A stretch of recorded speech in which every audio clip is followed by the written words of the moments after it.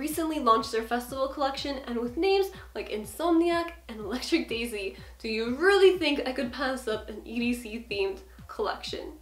I don't think so. Hi everyone, Shirin here, welcome back to my channel. Today I'm talking all about the ColourPop Festival collection.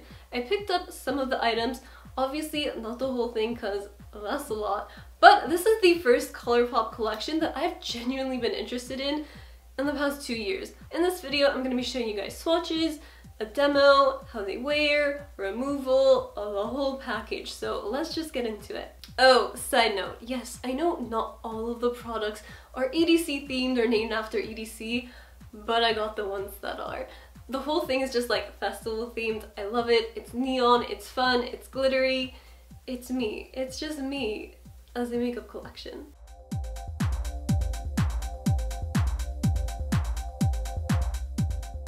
First up, we have the ColourPop Cream Gel Liner in Insomniac. This is a neon pink. Then we have the ColourPop Cream Gel Liner in Electric Daisy. This is a neon green. I don't know why this one says BFF on it because on the website it doesn't. And breakage in three, two, one. Boom. Yeah, don't twist these up too much because they can definitely break. That is my bad. Side note, technically neither of these liners are intended for use in the immediate eye area, so use at your own risk. Moving on to pressed pigment, we have Sandbar, which is a matte neon pink. This is the only color from what I've ordered that is not new to the festival collection. Sandbar is also in the Ooh La La palette. Now onto pressed glitters, we have Boombaya, which is a vivid orange.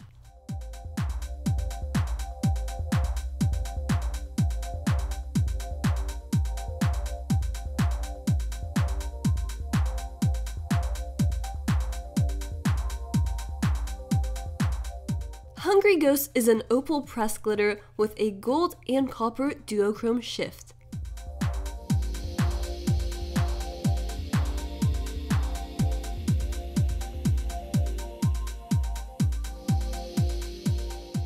I ended up putting Sandbar and the two press glitters into this empty ColourPop quad that I had from years ago. Honestly, it's kinda perfect. Now I'm just missing one more, and you know what that means. Time to make another ColourPop order! Last but not least, we have the Glitterally Obsessed Body Glitter in Disco Lady. This is a holographic glitter. By the way, this one is actually not from the festival collection, but it might as well have been because, hello, this is such a fun festival glitter.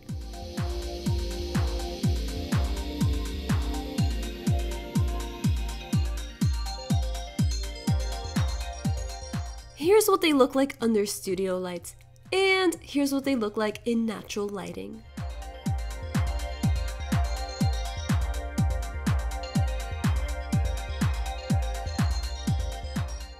I'm gonna start off by priming my lids with the Milk Makeup Flex Concealer. I am in the shade Fair. I honestly don't love this for prepping for eyeshadow. I don't find it to be the best.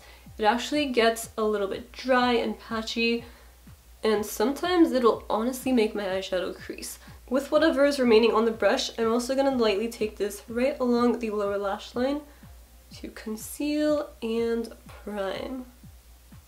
So the first thing I'm going in with today from the Colourpop Festival collection is this liner right here. This is Electric Daisy. I'm going to run this through my waterline. The reason why I'm doing this first is because I've noticed that when I tend to work with eyeshadows and then do my waterline last, it's not as effective because I have shadow built up in my waterline. So when I go to put in the liner, it's just not as pigmented. So we're just gonna do this first and then move on to eyeshadow.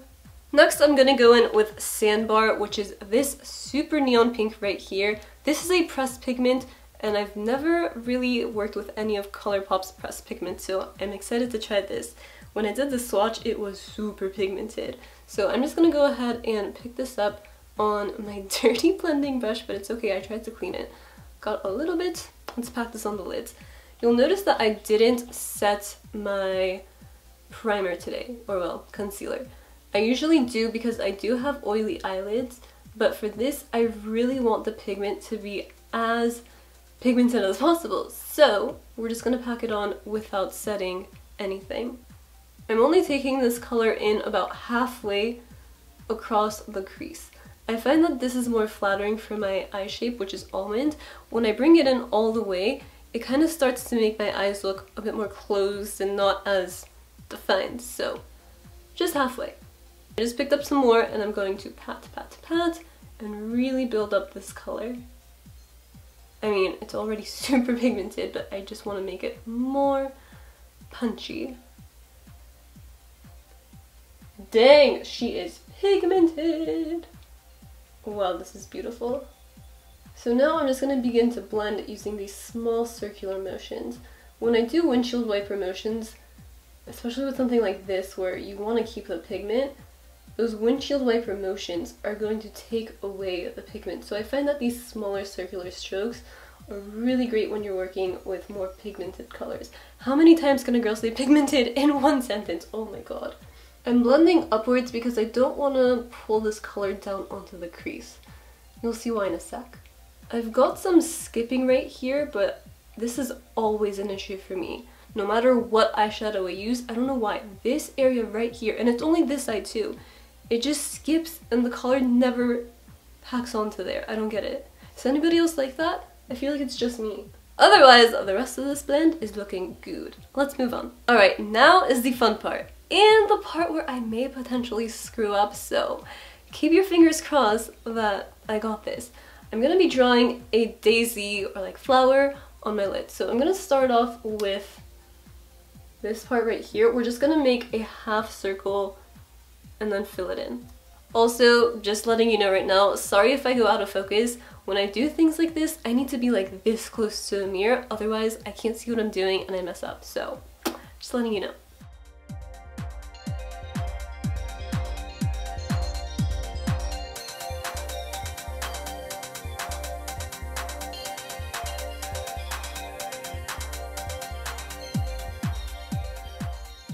Alright, there we go. We've got our little half circle looking thing going on. It's not perfect, but it works. Next, we're gonna draw the petals right here. Side note, Insomniac is such a pretty color. It's so easy to blend.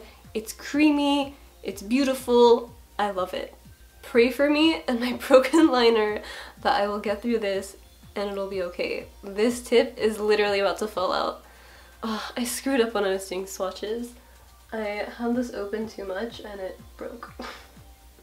okay, I'm gonna try to make a rough guideline of where the petals are gonna end and then I'm gonna go back and fill them in, kind of like a coloring book. Like you want to make an outline and then just fill it in. For this outer corner, basically treat it as wing liner. You want to extend the line out from this end part of your eye towards the tail end of your brow and then just connect it to the top of that petal shape. Alright, so I've got my outline. I'm just to fill this in and I'll be right back. Okay, I'm noticing that I'm having a hard time swiping the product up and down. So I'm just going left and right and that's working a lot better for me. And I just lost my liner. Cool. Well, time to twist this up a little bit. like, it literally just fell in the sink. That is disgusting. I will not be using that.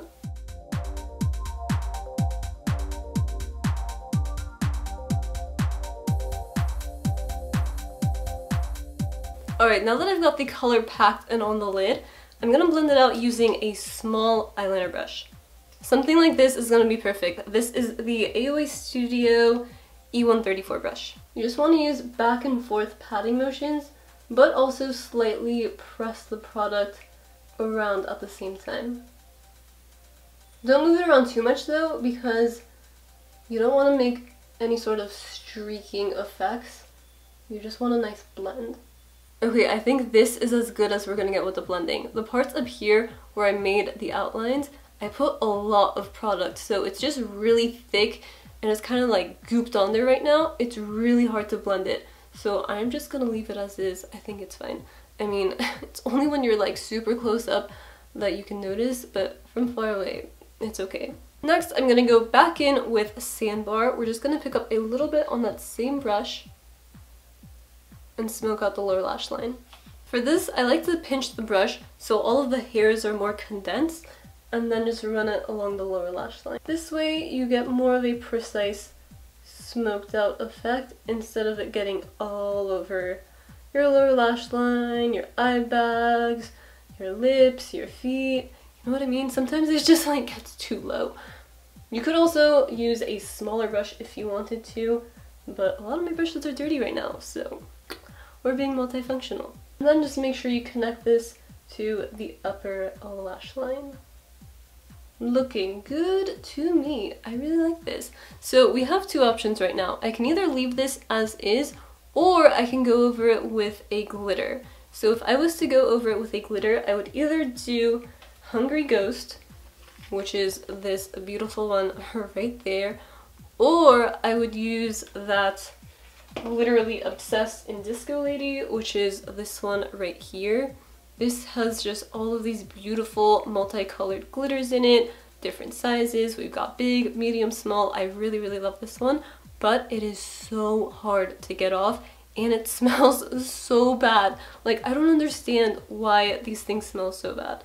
I've yet to come across a glitter gel that smells amazing. This would be like my ideal, but because of how hard it is to remove, I'm gonna pass on that. I'm thinking of adding glitter to the inner corner though. Let's try that and then we'll make a decision from there if we want it on the lids or not. My nails are a little bit long right now and I know I'm not to get a super precise application with them if I use my fingers so I'm to try using the pressed glitters with a brush. I'm just to use this brush right here. This is a really dense small brush. This is the E 03 from Pixi. I don't even know if this is gonna work honestly. We're just gonna try and wing this. So let's try to pick some up.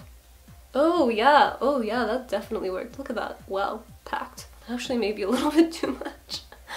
I'm gonna pump this right here in the inner corner. Wow, that is stunning. I love how it shifts orange and gold. Depending on the lighting, it just looks so different, but it looks beautiful in every lighting condition. Plus, it just really works with this whole color scheme. So I think, I think we're good for this eye. I'm just gonna leave this as is. Moving on to the next eye, I'm gonna do something different. I'm gonna keep it more simple for this one. I want it to be an asymmetrical, fun look. If you want, you can recreate this on this side and just have it match, but that's not the vibe I'm going for today. I'm gonna pick up Sandbar again, and we're just gonna do the same thing, like smoke it out, upper and lower lash line. I mean, not upper lash line, the crease. So I'm just gonna pick some up and go to town. Do you see what I mean about that creasing, by the way? Like, do you see that concealer creasing? Oh, I'm not about it. So what I'm gonna do is mainly concentrate this on the crease, the outer corner, lower lash line, and then with whatever is remaining on the brush, I'm just gonna pack it on the lid so we have a wash of color. And now, of course, time to blend. I swear, this blends out like a dream. It's so easy, like, done. I'm done. Look at that. Beautiful. The reason why I wanted a wash of color right here is because I'm gonna go in with another pressed glitter. I'm gonna go in with Boom Baya. This is gonna make the look look more cohesive because it's gonna tie in this little glitter element with this side. I'm just gonna take that same brush and dip into Boom Baya, this gorgeous orange, and we're just gonna pack this on the lid. I'm mainly gonna concentrate this on the inner corner and take it out to the center of the lid. Oh, that is beautiful! Wow, these glitters, so pretty. So now I'm just taking it upwards a little bit just to blend it out into the crease. And then same thing with this edge. You want to take it out so that it kind of starts to blend into this pink right here. To really tie everything together, I'm going to go back in with Hungry Ghost and pop that in the inner corners. Wow, you guys, when I pick up Hungry Ghost, it picks up so much. Like when I did that with Boom Baya, it didn't pick up as much as it did with Hungry Ghost. This one's definitely easier to work with. Look at that! Instantly so much glitter. Wow.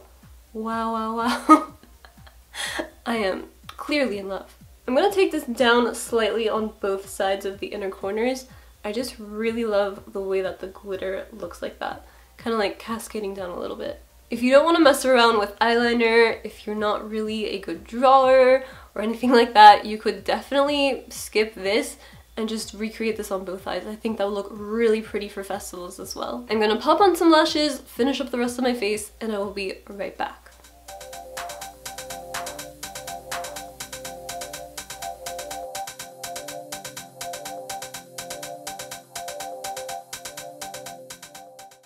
This is the most satisfying feeling ever. Am I right?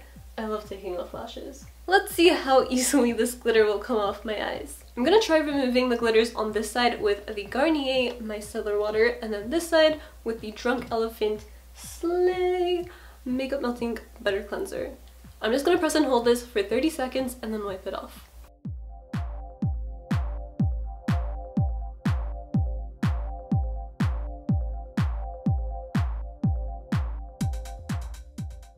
Ooh, ooh. I don't know about this, y'all. This is smudging everywhere. I thought this was gonna be easy to take off the eyes. I guess not. Oh wow. Literally a glitter mess. Like, look at this right now. There's glitter all over my eyes. And it even went up to my brows. I know that's normal with glitters, but usually it's not this excessive. Like, I don't have this much left over when I take it off with micellar water. Hmm, interesting. Let's try Slay.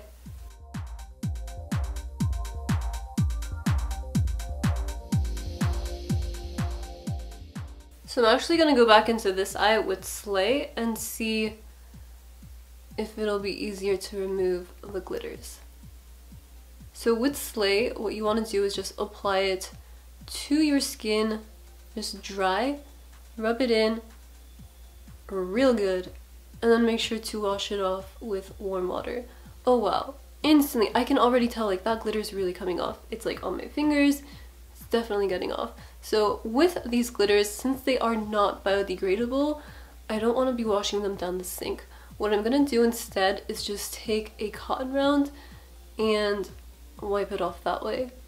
Once I get all the glitters off, then I'll go in and rinse with water and pat dry my face.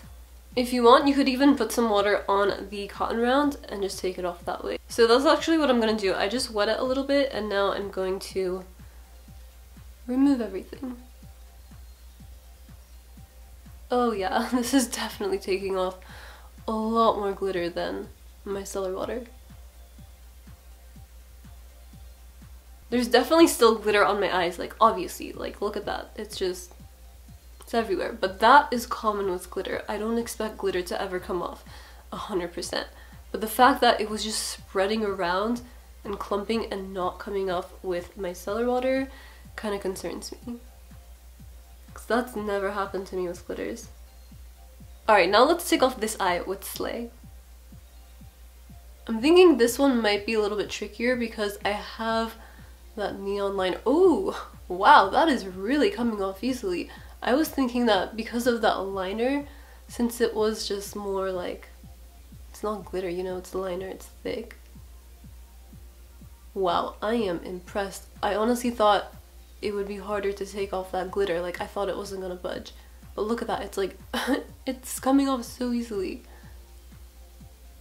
I just got another damn cotton round and we're gonna go ahead and do the same thing. Just wipe everything off. Okay, I don't know what is up with... Ooh, stabbed myself nearly. What is up with this lash line situation? Huh, I wonder why that's not coming off easily. Oh, you know what it is? It's lash glue. Lash glue is so annoying to get off. Okay, I still have a lot of glitter actually on this eye but it did for the most part come off easily. I'm just gonna go back in with one more round of Slay and try to remove all of this excess glitter. Going in with that second pass definitely helped a lot. Obviously there's still some glitter here and there. Like I said, with glitter, you're never gonna get 100% of it off. So that's fine. This is really, really good to me. Okay, so final thoughts on removal. Not that easy.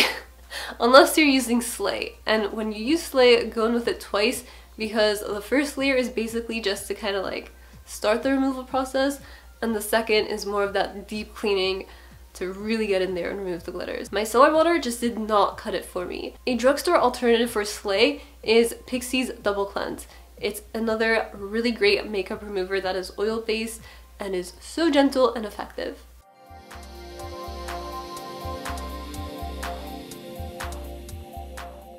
Let's talk about these products, shall we? I want to start off with the ones that I don't love. So the first one is this one right here. This is the Electric Daisy Cream Gel Liner. This one I found to be really hard to work with.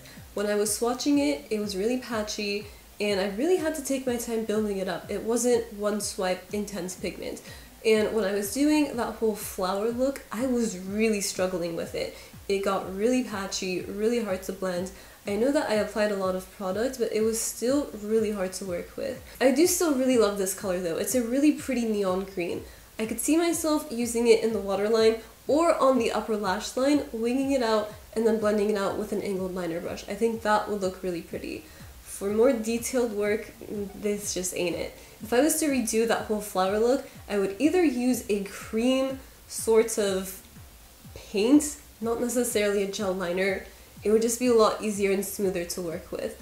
Or if I was gonna use this, I'd probably take Duraline or something like that just to sheer it out and make it more liquidy. The next one I don't love is Boombaya. This one has a bunch of smaller glitters in it, like there's no medium or bigger size glitters, they're all small or just very fine. It also applies very patchy. I had a hard time getting this to have a smooth application. When I was swatching it, it was just really patchy, hard to build up, and even on my eyes, even though it did glide beautifully and end up looking really nice, it just it's so different than Hungry Ghost. Hungry Ghost is a lot more chunky and it's easier to apply, it's very smooth, there's no streaking, there's no patchiness. These two are night and day for me. This one's like, mm, no thank you. This one I love. Like, it's so beautiful. And I love that depending on what lighting it's in, it has a different shift to it. So in this sort of lighting where it's studio lights, I noticed that it's more rose gold slash gold, but then once you take it outside in natural lighting, it has this really cool blue shift to it. It's unlike anything I've ever seen before and it's so magical. You guys know I love my chunky glitters, so this is perfection. The next one that I really, really love is Sandbar. This is so pigmented in just one swipe. It also blends like a dream and is so beautiful. I absolutely love this one. Now, this was supposed to come in a neon compact, but my guess is that ColourPop ran out because they ended up sending me this one. So this is just a white one, which, you know, I actually kind of like. It matches my aesthetic better. I really love black and white, as you guys can probably tell. So thanks, ColourPop. I also really love the Insomniac Cream Gel Liner. This one is very easy to blend, super smooth, creamy, just everything but this one is not. They're so different. It's crazy. I just, I really love this one. Absolutely beautiful. Highly recommend it. Now for the last thing. The Glitterally Obsessed in Disco Lady. I have a love-hate for this.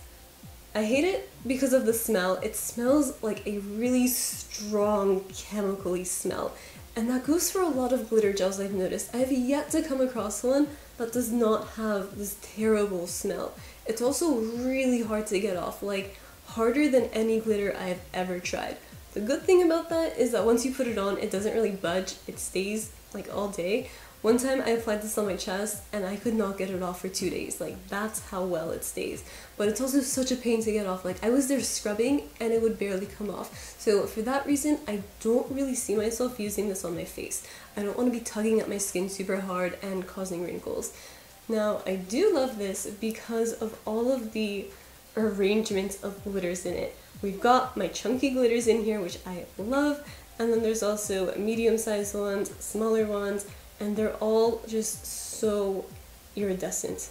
They're beautiful. I really, really love this for that reason. I still think that I would use this. I mainly got it for EDC, so I'll probably still end up using it, but just on my body. I don't know. We'll see.